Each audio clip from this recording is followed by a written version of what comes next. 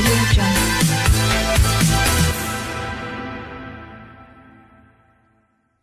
Bueno, continuamos con charlas de café y vamos ahora a compartir una propuesta que les acercamos desde Maquia, este hermoso espacio de bienestar para esta semana.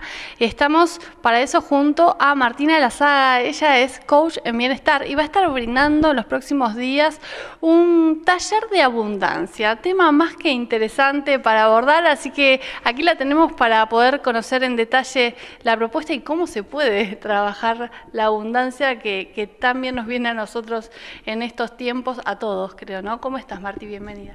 ¿Qué tal? ¿Cómo andan? Bueno, em, en realidad, digamos, es el último taller del año ya en este espacio para completar un ciclo de talleres que venimos realizando. Em, y digamos, esta vez lo focalicé sobre la relación con el dinero, o sea, hablamos más de prosperidad, si se quiere. Eh, porque abundancia es el todo, ¿no? Potenciar eh, de forma integral el bienestar en general. Y, bueno, para finalizar ese ciclo de talleres, digamos, me, solicitaron más que nada, bueno, mejorar la relación con el dinero, eh, empezar a visualizar por la época del año, digamos, las metas para el año que viene. Entonces abordamos más que nada cómo es nuestra relación con el dinero y cómo podemos mejorar esa relación, justamente. Muy bien. Vos sos coach de bienestar y en ese sentido abarcás eh, de manera integral, me parece, el tema.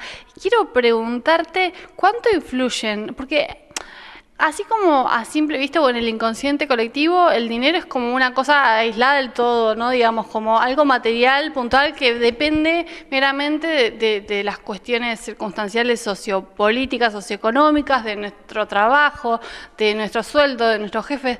Pero, ¿cuánto se relacionan las emociones con el dinero? Eh, un montón, más de lo que se piensa en realidad, porque, bueno, existe lo que se llama compras compras emocionales, por ejemplo, eh, para, muy obsesionada para llenar vacíos, eh, bueno, depende mi estado de ánimo, eh, depende de, cómo soy yo, de mi personalidad, digamos, si yo soy organizada, si sé gestionar bien ese dinero, pero las emociones me influyen un montón porque si yo estoy desestabilizada en lo emocional, obviamente que busco vías de escape por ahí en otras cuestiones eh, como por ejemplo eh, el consumismo o, esas otras otros aspectos, digamos. Sí, hay, hay, estudios muy interesantes sobre esto, pero para poder empezar a desandar ese camino, entonces primero tenemos que estar dispuestos a hacer un trabajo interno importantísimo para poder, como primer punto, tener registro de esto, ¿no? Exacto. Siempre el punto de partida es mirarnos, observarnos y hacer conscientes esos patrones de comportamiento que tenemos, en este caso respecto al dinero, pero en general, ¿no? en la vida, eh, si, no, si no nos reconocemos nosotros, no lo vamos a poder ni modificar, ni mejorar, eh, y por supuesto gestionar de una mejor manera. A veces el caos es tal que que creo que hay como hasta una negación a abordar el tema, ¿no? Porque mejor no vemos, mejor no vemos cuánto debemos, mejor no vemos cuánto, cuánto gastamos, mejor no vemos cuánto cobramos, porque a veces no todo es tan lineal, ¿no? Hay gente que tiene un sueldo mensual y sabe, pero hay muchísima y cada vez más gente independiente que en ese contexto es mucho más difícil llevar unas finanzas ordenadas. Sí, tal cual. Eh, siempre caemos sobre el mismo tema, pero, pero bueno, tiene que ver también con eh, ya este lado más de, desde el coaching, digamos, de las etapas de transformación que va viviendo cada uno, ¿no? Es un proceso muy individual y particular, pero la etapa de la o sea, salir de la zona de confort eh, primero negás lo que te sucede porque, como decís vos, o sea, no lo querés enfrentar después te das cuenta que al hacerlo consciente decís, bueno, hacia dónde quiero ir, cómo puedo mejorar eh, y tomo acción. Eh, entonces, primero viene la negación y después lo terminas aceptando y dices, bueno, para realmente generar ese cambio de hábitos necesitas esta otra etapa de innovación y puesta en marcha sería. ¿Y, con qué se va a encontrar la gente que venga al taller? ¿Y, para quiénes está pensado este taller? Bueno, en realidad es para cualquier persona que quiera mejorar su, abundancia, porque vemos, ya te digo, no solamente eh, la, parte de prosperidad, que es la relación con el dinero, sino que siempre lo focalizo sobre el bienestar integral. Em, así que no es que necesitas ninguna experiencia previa, sino eh, simplemente eso, querer estar mejor y querer em, cumplir metas, ¿no? Que esa es la idea, o sea, que, yo les pueda brindar alguna especie de, tip o, de guía o un acompañamiento para que eh, logren reflexionar primero, eh, autoobservarse y de ahí sacar sus conclusiones y empezar a, tomar pequeños pasos para realmente poder lograr lo que quieran lograr. Es un muy buen momento del año para hacer este taller porque es un momento de, bueno, o balance positivo o, o, negación al balance o balance que trae un poco de frustración, porque a veces también es un momento de decir, bueno, esto que pensaba que le iba a poder hacer este año con todo lo que pasó no pude y vuelve a quedar postergado y ahí vuelven de nuevo a entrar en juego las emociones, ¿no? Tal cual.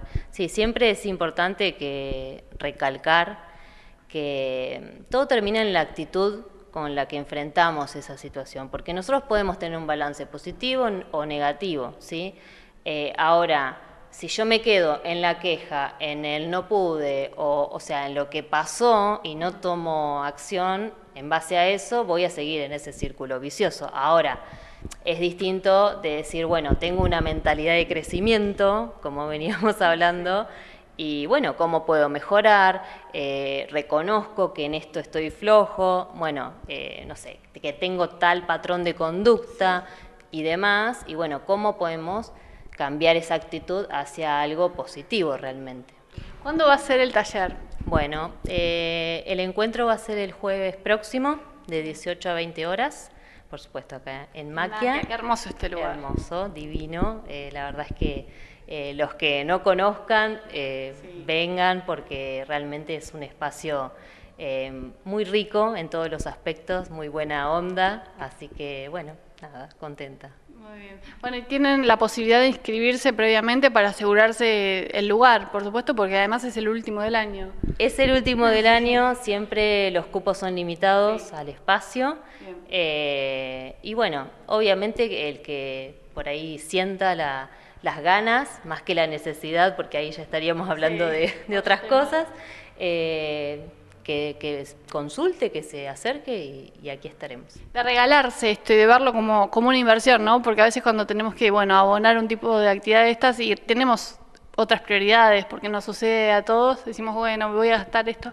Yo digo que, que es una inversión más que un gasto. Tal cual, bueno, a mí no me lo puede Sí, obvio, es una inversión en uno mismo eh, y también es un espacio para compartir, porque se generan, siempre en los talleres se generan eh, conexiones entre los asistentes, entre, conmigo, digamos, o sea, todos nos nutrimos y hasta, ¿por qué no potenciar la, abundancia en ese aspecto, ¿no? De conocer gente nueva, hacer red eh, y ver desde otra perspectiva por ahí las cosas. Totalmente. Bueno, se pueden asegurar el cupo, por supuesto, vamos a estar dejando el flyer en pantalla, comunicándose con las chicas de Maquia o directamente con vos también. Sí, de, cualquiera de las dos vías, digamos, estamos... que te sigan ahí en redes porque tenés un montón de, propuestas para los, los que estén en el camino del bienestar. Sí, tal cual. Eh, si quieren seguirme en Instagram, que es lo que tengo más activo, más activo arroba eh, guion bajo mar-la saga. Eh, así que bueno, nada, ahí estaremos. Muchísimas gracias, Marti. Bueno, un placer. Y así les dejamos entonces esta propuesta desde Maquia junto a Martina La Saga. Y Maquia tiene un montón de propuestas para esta última parte del año, así que yo los invito, las invito a estar muy pendientes de, de, las redes de las chicas, síganlas ahí en Maquia Espacio de Bienestar, para poder bueno, conocer en profundidad cada una de las actividades que se vienen y asegurarse un cupo con tiempo, porque yo me volví a quedar afuera de Vino y Tarot, que se viene una, una nueva edición, pero que me dijeron, me avisaron por cucaracha que se viene otra, así que ahí estaré. Vamos a una pequeña tanda publicitaria y regresamos con más charlas de café.